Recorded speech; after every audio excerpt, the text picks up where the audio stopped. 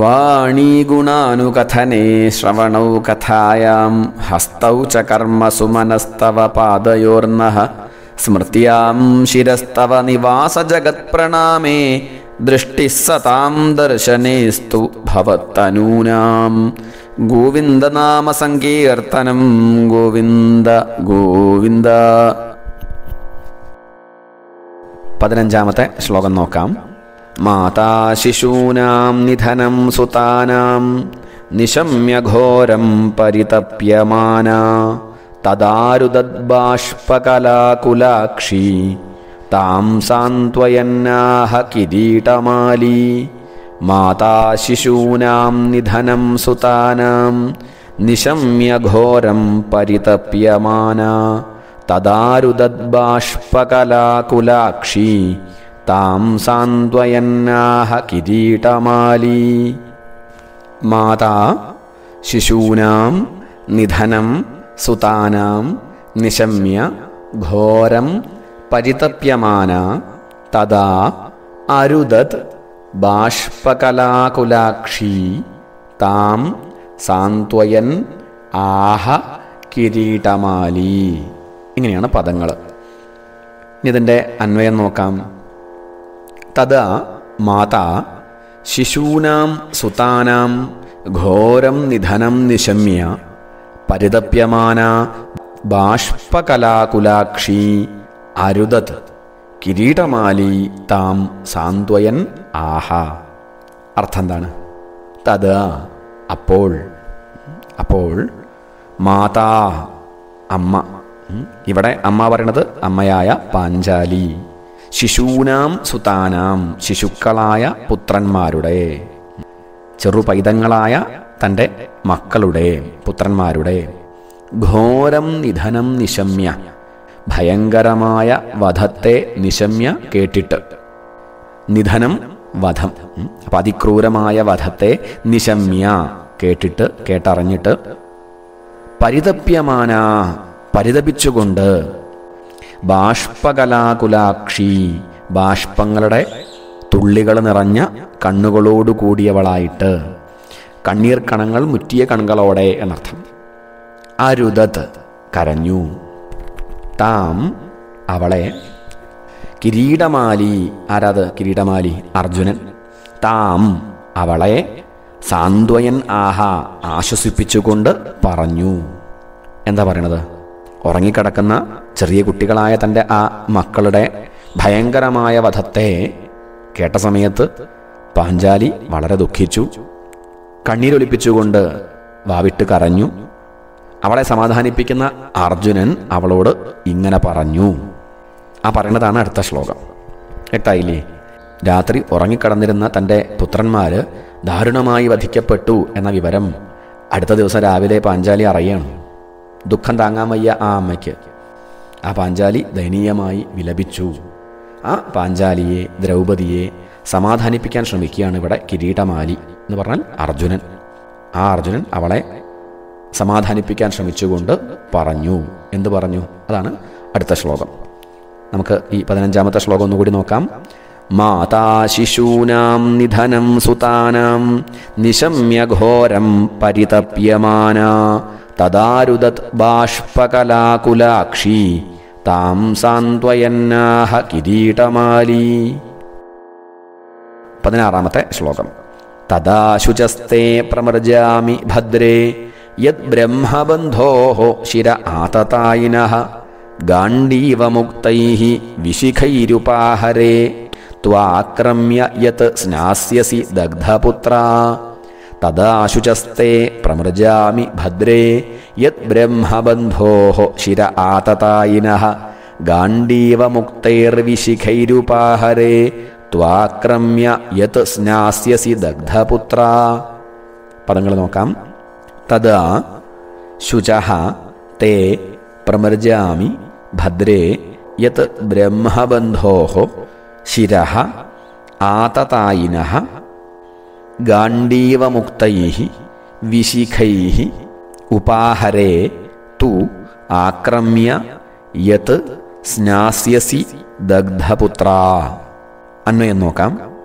ഭദ്രേ ആതതായിന ബ്രഹ്മബന്ധോ ശിര ഗാണ്ഡീവമുക്തൈ വിശിഖൈ യത് ഉപാഹരേ തദാ തേ ശുച പ്രമൃജാമി യത് തു ആക്രമ്യ ദഗ്ധപുത്രാ സ്നാസ്യസി ഭദ്രേ ഭദ്രേ എന്താ അർത്ഥം? കല്യാണി മംഗളരൂപേ അല്ലയോ? മംഗളരൂപേ കല്യാണി. ആതതായിന ബ്രഹ്മബന്ധോ ശിര. ആതതായിന ആയുധം ധരിച്ച് കൊല്ലാൻ വരുന്നവനും എന്നർത്ഥം. ആയുധം ധരിച്ച് കൊലയും കൊള്ളിവെപ്പും നടത്തിയ ആതതായിന ബ്രഹ്മബന്ധോ ബ്രാഹ്മണാധമനുമായവന്റെ നീചബ്രാഹ്മണന്റെ വെറും ബ്രാഹ്മണകുലത്തിൽ ജനിക്കുക മാത്രം ആ സ്വഭാവം കാണിക്കാത്തവന്റെ ശിരഹ ശിരസിനെ ഗാണ്ഡീവമുക്തൈഹി ഗാണ്ഡീവചാപത്തിൽ നിന്ന് വിട്ടയക്കപ്പെട്ട വിശിഖൈഹി ശരങ്ങൾ കൊണ്ട് യത് എപ്പോൾ ഉപാഹരേ ഞാൻ കൊണ്ടുവന്നേക്കുമോ?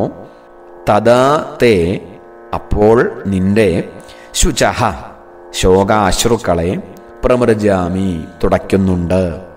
യത് തു യാതൊരു ആ ശിരസിനെ തന്നെ ആക്രമ്യ കീഴടക്കി. അതിനു മുകളിലിരുന്ന് ദഗ്ധപുത്ര സ്നാസ്യസി. മക്കളുടെ ദഹനക്രിയ ചെയ്തവളായിട്ട് സ്നാസ്യസി നീ സ്നാനം ചെയ്യും. എന്താ പറയണത്?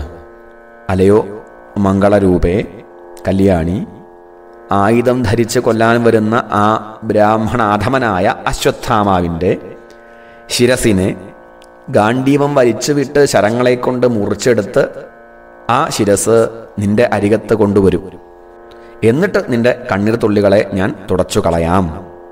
ആ ശിരസിനെ ആസനമാക്കി അതിന്റെ മുകളിൽ ഇരുന്നു കൊണ്ട് നിന്റെ പുത്രന്മാരുടെ ശരീരങ്ങളെ ദഹിപ്പിച്ച ശേഷം നീ സ്നാനം ചെയ്യും. എന്ന് അർജുനൻ പാഞ്ചാലിയോട് പറയുകയാണ് അർത്ഥം ഇത്രയുള്ളൂ അർജുനൻ ആശ്വസിപ്പിക്കുകയാണ് പാഞ്ചാലിയെ. കുട്ടികൾ മരിച്ചു. ഇനിയിപ്പോൾ നമ്മൾ വിചാരിച്ചു കഴിഞ്ഞാൽ ആ മരിച്ച കുട്ടികളെ ജീവിപ്പിക്കാൻ സാധിക്കില്ല. പക്ഷെ ഒന്ന് ചെയ്യാം. ആ ഉറങ്ങിക്കടന്നിരുന്ന ആ കുട്ടികളെ വെട്ടിക്കൊന്ന അധമനായ നീചനായ ആ അശ്വത്ഥാമാവിനെ കൊല്ലാം. എന്നിട്ട് അയാളുടെ ശിരസ് ഞാൻ നിന്റെ മുന്നിൽ കൊണ്ടുവന്ന് വെക്കാം.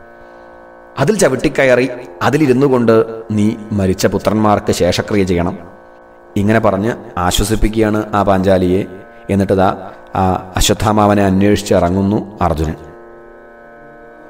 ഒന്നുകൂടി നമുക്ക് ആ ശ്ലോകം നോക്കാം. തദാശുചസ്തേ പ്രമൃജാമി ഭദ്രേ യത് ബ്രഹ്മബന്ധോ ശിര ആതതായിന. ഗാണ്ഡീവമുക്തൈർവിശിഖൈരുപാഹരേ ത്വാക്രമ്യ യത് സ്നാസ്യസി ദഗ്ധപുത്ര പതിനേഴാമത്തെ ശ്ലോകം നോക്കാം ഇതി പ്രിയാം വൽഗുവിചിത്രജൽപൈ സസാന്ത്വയിത്വാച്യുതമിത്രസൂത അന്വാദ്രവദ്ദംശിത ഉഗ്രധന്വാ കപിധ്വജോ ഗുരുപുത്രം രഥേന ഇതി പ്രിയാം വൽഗുവിചിത്രജൽപൈ സസാന്ത്വയിത്വാച്യുതമിത്രസൂത അന്വാദ്രവദ്ദംശിത ഉഗ്രധന്വാ കപിധ്വജോ ഗുരുപുത്രം രഥേന പദങ്ങൾ നോക്കാം. ഇതി പ്രിയാം വൽഗുവിചിത്രജൽപൈ സഹ സാന്ത്വയിത്വാ അച്യുതമിത്രസൂത അന്വാദ്രവത് ദംശിത ഉഗ്രധന്വാ കപിധ്വജ ഗുരുപുത്രം രഥേന പദങ്ങൾ കണ്ടല്ലോ ഇനി അന്വയം നോക്കാം. ഇതി വൽഗുവിചിത്രജൽപൈ പ്രിയാം സാന്ത്വയിത്വ അച്യുതമിത്രസൂത സഹ കപിധ്വജ ദംശിത ഉഗ്രധന്വാ രഥേന ഗുരുപുത്രം അന്വാദ്രവത്. ഇതി എന്താ അർത്ഥം? ഇപ്രകാരം ഇപ്രകാരം ജൽപ്പൈഹി മനോഹരമായും വിചിത്രമായുമിരിക്കുന്ന ഭാഷണങ്ങൾ കൊണ്ട് ഭംഗിയുള്ള അത്ഭുത വീരഭാഷണങ്ങളാൽ പ്രിയാം പ്രിയയെ പത്നിയെ സാന്ത്വയിത്വ സാന്ത്വയിത്വ സാന്ത്വനിപ്പിച്ചിട്ട് സമാധാനിപ്പിച്ച് അച്യുതമിത്രസൂത ശ്രീകൃഷ്ണൻ ബന്ധുവായും സാരഥിയായുമിരിക്കുന്നവനും. അർജുനന്റെ വിശേഷണമാണ്. അച്യുതമിത്രസൂത. ശ്രീകൃഷ്ണൻ ചങ്ങാതിയായും സാരഥിയായും ഇരിക്കുന്ന സഹ കപിധ്വജ ആ അർജുനൻ സഹ കപിധ്വജ കപി പറഞ്ഞാൽ വാനരൻ. ഇവിടെ ഹനുമാൻ എന്നർത്ഥം. ധ്വജ കൊടി. ഹനുമാനാകുന്ന കൊടിയടയാളത്തോടു കൂടിയവനുമായ ശ്രീകൃഷ്ണൻ സുഹൃത്തായും സാരഥിയായും ഇരിക്കുന്ന അതുപോലെ ഹനുമാനാകുന്ന കൊടിയടയാളത്തോടു കൂടിയവനുമായ ആ അർജുനൻ ദംശിത കവചം മുതലായ ആ പടച്ചട്ടകളൊക്കെ ധരിച്ച് പടക്കോ പണിഞ്ഞ് ഉഗ്രധന്വ ഭയങ്കരമായ വില്ലോടുകൂടിയവനായിട്ട് ഭീഷണമായ വില്ലേന്തി രഥേന രഥത്തിലേറി തേരിലേറി ഗുരുപുത്രം ആ ഗുരുനാഥന്റെ പുത്രനെ ദ്രോണാചാര്യരുടെ പുത്രനെ എന്ന് പറഞ്ഞാൽ ഇവിടെ അശ്വത്ഥാമാവിനെ. അന്വാദ്രവത്. പിന്തുടർന്നു. പതിനാറാമത്തെ ശ്ലോകത്തിൽ അർജുനൻ ആ പാഞ്ചാലിയെ സമാധാനിപ്പിച്ചു. വീരന്മാർ വീരന്മാർക്കുചിതമായ വാക്കുകൾ പറഞ്ഞ് തന്റെ പ്രയസിയായ ആ പത്നിയെ പാഞ്ചാലിയെ സമാശ്വസിപ്പിച്ചു. എന്നിട്ടോ ശ്രീകൃഷ്ണൻ സുഹൃത്തായും ബന്ധുവായും സാരഥിയുമായിരിക്കുന്നവനും ഹനുമാനാകുന്ന കൊടിയടയാളത്തോടു കൂടിയവനുമായ ആ അർജുനൻ കവചം ധരിച്ച് ശത്രുക്കളെ ഭയപ്പെടുത്തുന്ന തന്റെ ആ ഗാന്ഡീവം എന്ന വില്ലെടുത്ത് ആ രഥത്തിലേറി ആ ഗുരുനാഥന്റെ പുത്രനായ അശ്വത്ഥാമാവിനെ എതിരിടാനായി പുറപ്പെട്ടു. ഇവിടെ വിശേഷണങ്ങൾ ശ്രദ്ധിക്കണം. അർജുനൻ എന്നല്ല പറഞ്ഞത്. ശ്രീകൃഷ്ണൻ ബന്ധുവും സാരഥിയുമായ അർജുനൻ. അതുപോലെ ഹനുമാനാകുന്ന കൊടിയടയാളത്തോടു കൂടിയവനായ അർജുനൻ ഇങ്ങനെയാണ് പറഞ്ഞത്. ഇതൊക്കെ എന്തിനു പറഞ്ഞു ചോദിച്ചാൽ ആ അർജുനൻ അശ്വത്ഥാമാവിനെ വധിക്കും തീർച്ച. ആ അശ്വത്ഥാമാവനെ വധിക്കാനുള്ള ശക്തി അർജുനൻ ഉണ്ടെന്ന് കാണിക്കുകയാണ്. കാരണം കൂടെ ഇരിക്കുന്നത് ശ്രീകൃഷ്ണനാണ്. ആ ശ്രീകൃഷ്ണൻ സാരഥിയായിട്ടിരിക്കുന്നു. സുഹൃത്താണ് ബന്ധുവാണ്. അതുമാത്രമല്ല കരുത്തനായ എന്തേറ്റെടുത്താലും അത് ഭംഗിയിൽ നടത്തുന്ന യോഗ്യനായ ഹനുമാൻ. ആ ഹനുമാനാണ് കൊടിയടയാളം അർജുനന്റെ. ഇതൊക്കെ എന്തിനെ കാണിക്കുകയാണ്? അശ്വത്ഥാമാവനെ വധിക്കാൻ അർജുനൻ ശക്തനാണ് എന്ന് സൂചിപ്പിക്കുകയാണ്. ചുരുക്കി പറഞ്ഞാൽ ഇത്രയേ ഉള്ളൂ. തന്റെ പത്നിയെ ആശ്വസിപ്പിച്ച് അർജുനൻ ദാ അശ്വത്ഥാമാവനെ അന്വേഷിച്ച് പുറപ്പെട്ടു. ഒന്നുകൂടി നമുക്ക് ആ ശ്ലോകം നോക്കാം. പതിനേഴാമത്തെ ശ്ലോകം. ഇതി പ്രിയാം വൽഗു വിചിത്ര വിചിത്രജൽപൈ സസാന്ദ്വയിത്വാച്യുതമിത്രസൂത അന്വാദ്രവദ്ദംശിത ഉഗ്രധന്വാ കപിധ്വജോ ഗുരുപുത്രം രഥേന. പതിനെട്ടാമത്തെ ശ്ലോകം. तमापतन्दं सविलक्ष्यदूरात् कुमारहोद्विग्नमनारथेन पराद्रवत्प्राणपरीप्सुरुर्व्यां यावद्गमं रुद्रभयात् यथा कः। तमापतन्तं सविलक्ष्य दूरात्। कुमारहोद्विग्नमना रथेन പരാദ്രവത് പ്രാണപരീപ്സുരുർവ്യാം യാവദ്ഗമം രുദ്രഭയാത് യഥാർക്കഹ പാഠഭേദമുണ്ട് രുദ്രഭയാത് യഥാ കഹ എന്നുണ്ട്. രുദ്രഭയാത് യഥാ അർക്കഹ എന്നും. ഇങ്ങനെ പാഠഭേദമുണ്ട് അവിടെ. രണ്ടിനും അർത്ഥമുണ്ട് രണ്ട് കഥകൾ സൂചിപ്പിക്കുകയാണ്. നോക്കാം നമുക്കതിന്റെ പദങ്ങൾ തം ആപതന്തം സഹ വിലക്ഷ്യ ദൂരാത് കുമാരഹ ഉദ്വിഗ്നമനാഹ രഥേന പരാദ്രവത് പ്രാണപരീപ്സുഹു ഉർവ്യാം യാവദ്ഗമം രുദ്രഭയാത് യഥാ കഹ അല്ലെങ്കിൽ യഥാ അർക്കഹ. ഇങ്ങനെയാണ് പദങ്ങൾ. അന്വയം നോക്കാം. ആപതന്തം തം ദൂരാത് വിലക്ഷ്യ കുമാരഹ സഹ ഉദ്വിഗ്നമനാഹ പ്രാണപരീപ്സുഹു രുദ്രഭയാത് കഹ യഥാ. ഉർവ്യാം യാവദ്ഗമം രഥേന പരാദ്രവത്. ആപതന്തം. എന്താർത്ഥം ഓടിയടുക്കുന്ന? ഓടിയടുക്കുന്ന അല്ലെങ്കിൽ നേരിട്ട് പാഞ്ഞു വരുന്ന എന്നർത്ഥം. തം അവനെ എന്നർത്ഥം. ഇവിടെ ആ അർജുനനെ ആ ഓടിയെടുക്കുന്ന ആ അർജുനനെ ദൂരാത് വിലക്ഷ്യ. ദൂരത്തു നിന്ന് കണ്ടറിഞ്ഞ് അകലെ നിന്ന് തന്നെ കണ്ടറിഞ്ഞ് കുമാരഹ കുമാരന്മാരെ ഹനിച്ച കുമാരന്മാരെ വധിച്ച സഹ അവൻ. അവൻ എന്ന് പറഞ്ഞാൽ ഇവിടെ ആ അശ്വത്ഥാമാവ്. ഉദ്വിഗ്നമനാഹ ഉദ്വിഗ്നമനാഹ. പരിഭ്രാന്ത ചിത്തനും ഭയപ്പെട്ട മനസ്സോടുകൂടിയവനും പ്രാണപരീപ്സുഹു. പ്രാണനെ രക്ഷിക്കാൻ ആഗ്രഹിക്കുന്നവനും പ്രാണരക്ഷാർത്ഥിയുമായിട്ട് രുദ്രഭയാത്. രുദ്രഭയത്താൽ കഹ യഥ. കഹ പറഞ്ഞാൽ ബ്രഹ്മാവ് എന്നർത്ഥം. കഹ യഥ. രുദ്രനെ ഭയന്ന ബ്രഹ്മാവിനെ പോലെ. ഇനി പാഠഭേദം ഉണ്ടെന്ന് പറഞ്ഞല്ലോ. അവിടെ അർക്കഹ യഥ എന്ന് പറയുമ്പോഴോ? അർക്കൻ സൂര്യൻ. രുദ്രഭയത്താൽ സൂര്യൻ എന്ന പോലെ. രുദ്രനെ പേടിച്ച് സൂര്യൻ ഓടിയതുപോലെ ഉർവ്യാം ഭൂമിയിൽ യാവത് ഗമം സഞ്ചരിക്കാൻ ശക്തിയുള്ളിടത്തോളം. യാവത് ഗമം എന്ന് പറഞ്ഞാൽ പോകാനാവുന്നിടത്തോളം പോകാനാവുന്നിടത്തോളം എന്നർത്ഥം. രഥേന തേരുകൊണ്ട് രഥം കൊണ്ട് രഥത്തിൽ കയറി പരാദ്രവത്ത് പരക്കം പാഞ്ഞു പലായനം ചെയ്തു. എന്താർത്ഥം? തന്റെ നേരെ തേരിൽ ഓടിയെടുക്കുന്ന ആ അർജുനനെ കണ്ടപ്പോൾ പാഞ്ചാലിയുടെ ശിശുക്കളെ പാഞ്ചാലിയുടെ ശിശുക്കളെ അന്യായമായി കൊന്നവനും അതുകൊണ്ട് തന്നെ ഭയപ്പെട്ട മനസ്സോടുകൂടിയവനുമായ ആ അശ്വത്ഥാമാവ് പ്രാണനെ രക്ഷിച്ചാൽ മതി. തനിക്ക് സൽപ്പേര് വേണ്ട കീർത്തി വേണമെന്നില്ല തന്റെ ജീവൻ രക്ഷപ്പെട്ടാൽ രക്ഷപ്പെട്ടാൽ മതി എന്ന വിചാരത്തോടെ പണ്ട് പുത്രീ പരിരംഭണത്തിനൊരുങ്ങിയ ബ്രഹ്മാവ് രുദ്രനെ പേടിച്ചോടിയ വിധം സഞ്ചരിക്കാൻ ശക്തിയുള്ളിടത്തോളം സമയം ഭൂമിയിലോടി. പണ്ട് സൃഷ്ടി കഴിഞ്ഞ സമയത്ത് ബ്രഹ്മാവിന് ചെറിയൊരു അബദ്ധം പറ്റി. പുത്രീ പരിരംഭണത്തിന് ഉദ്യുക്തനായി ബ്രഹ്മാവ് ആ സമയത്ത് പരമശിവൻ ഇടപെട്ടു.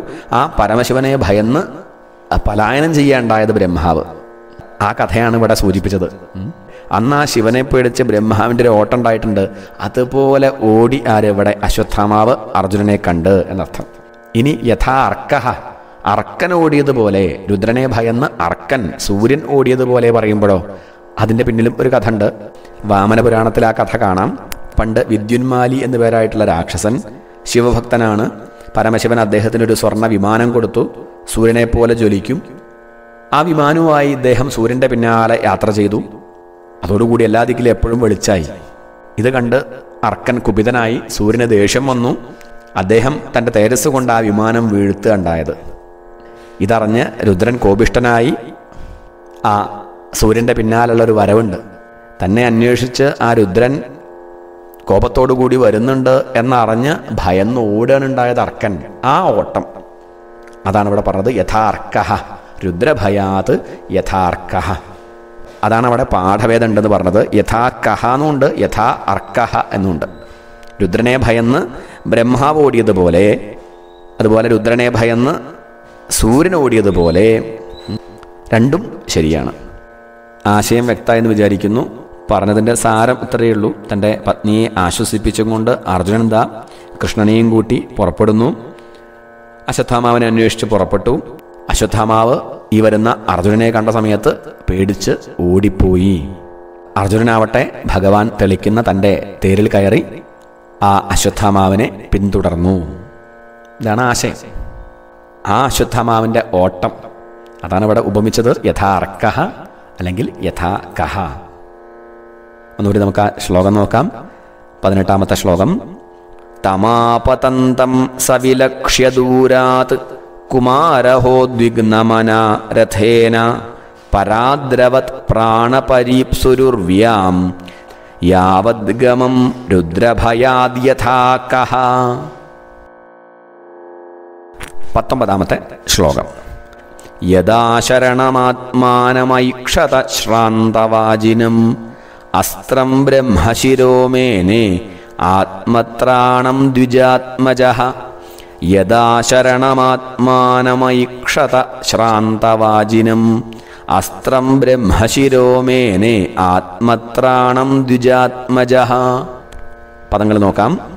യഥാ അശരണം ആത്മാനം ഐക്ഷത ശ്രാന്തവാചിനം അസ്ത്രം ബ്രഹ്മശിര മേനേ ആത്മത്രാണം ദ്വിജാത്മജ.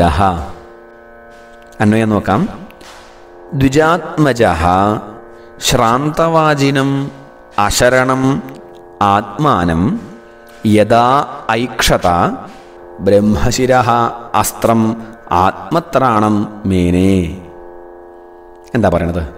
ദ്വിജാത്മജ ദ്വിജാത്മജൻ ബ്രാഹ്മണപുത്രൻ. അതാരാണ്? ഇവിടെ ആ ദ്രോണാചാര്യയുടെ പുത്രനായ അശ്വത്ഥാമാവ് എന്നർത്ഥം.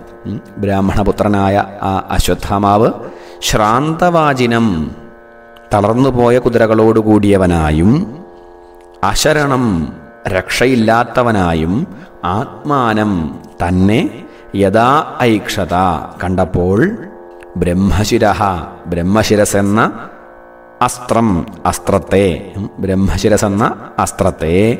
ആത്മത്രാണം മേനെ ആത്മരക്ഷയ്ക്കുള്ളതായി മേനെ കരുതി. ഓടി രക്ഷപ്പെടാൻ സാധിക്കാത്ത വിധം തന്റെ കുതിരകൾ ക്ഷീണിച്ചപ്പോൾ ആ അശ്വത്ഥാമാവ് ഇപ്പോൾ ബ്രഹ്മാസ്ത്രമാണ് തന്റെ ആത്മരക്ഷയ്ക്കുള്ള ഉപായം സാധനം എന്ന് നിശ്ചയിച്ചു. ആശയം വ്യക്തമായില്ലേ? കുറേ അധികം ദൂരം ഓടിക്കഴിഞ്ഞപ്പോൾ അശ്വത്ഥാമാവിന്റെ കുതിര തളർന്നു വീണു. അർജുനൻ തന്നെ ഇപ്പം പിടിക്കും എന്ന നില വന്നു. അപ്പോഴോ അദ്ദേഹം ദാ തന്റെ രക്ഷയ്ക്കായിട്ടുള്ളത് ബ്രഹ്മചിരസാണ് ബ്രഹ്മാസ്ത്രമാണ് എന്ന് അദ്ദേഹം ഉറപ്പിച്ചു. അതാണ് പറഞ്ഞത്. ഒന്നുകൂടി നമുക്ക് ആ പത്തൊമ്പതാമത്തെ ശ്ലോകം നോക്കാം. യഥാശരണമാത്മാനമൈക്ഷത ശ്രാന്തവാചിനും അസ്ത്രം ബ്രഹ്മശിരോമേനെ ആത്മത്രാണം ദ്വിജാത്മജ.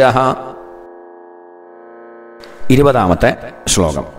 അഥോപസ്പൃശ്യ സലിലം സന്തധേ തത്സമാഹിത അജാനന്നുപസംഹാരം പ്രാണകൃച്ഛ്ര ഉപസ്ഥിതേ. പദങ്ങൾ നോക്കാം.